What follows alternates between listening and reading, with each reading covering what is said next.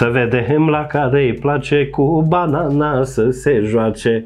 Avem și noi primul caz de variola maimuței. În sfârșit ne-am aliniat cu Europa.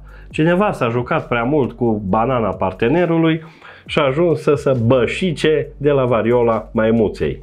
Grijă mare unde dați, la pupu sau la mm, aca aca. Grijă, grijă a, a, fost râsul lui Vlad un râs, elibil, elib, un râs eliberator pentru că este în vacanță. Ești în vacanță, Vlad? Sau?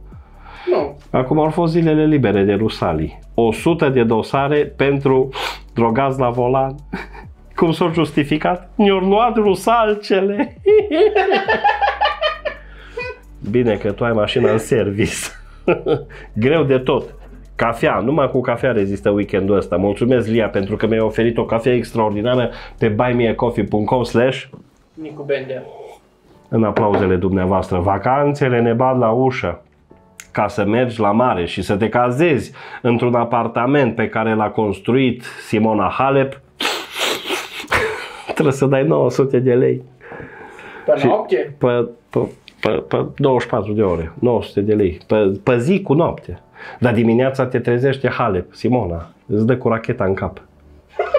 Treci la fileu și mic dejun nu ne dați, pe plajă la încălzire. E cam greu. Poți să-ți alegi vila lui Arșinel. Acolo este mai mișto. Plătești doar 1100 de ron pe noapte la 3 persoane. Bine, ascult și bancuri proaste, dar asta e. Nu ne facem și noi un complex climateric balneo la mare, măi, Vlade, măi? Că avem atâția fani. Tu vii cu terapia prin râs. Adică dacă omul are o depresie, o anxietate, îi, fut, îi tragi un râs la ureche și își revine. Un râs ca Ion Iliescu. Lui Neanelu Iliescu s-a retras certificatul de revoluțional. Imediat, Adrian Anastasia a spus, puteți să îi le retrageți pe toate. Ion Iliescu va rămâne în cărțile de istorie. Pe așa au rămas și Hitler.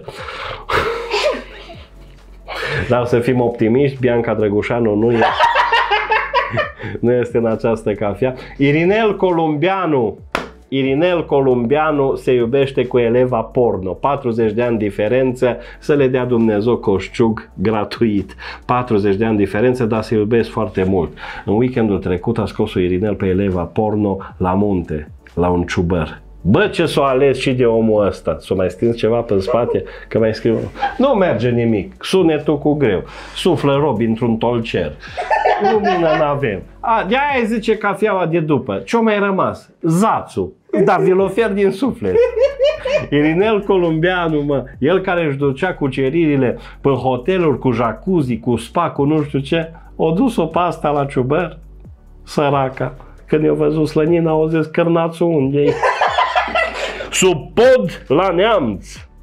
S-a prăbușit podul din neamț, dita mai podul. Baronul ăla local o zis, zice, ăsta ține la sute de tone.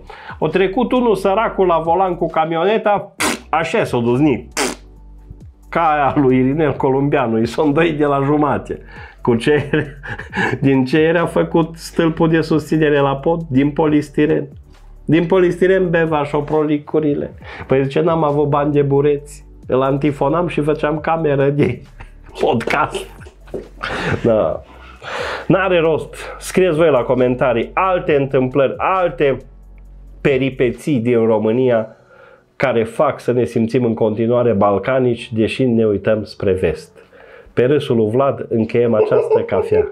buymeacoffee.com slash Nico Bendea. Și cofo de căcat. Mm.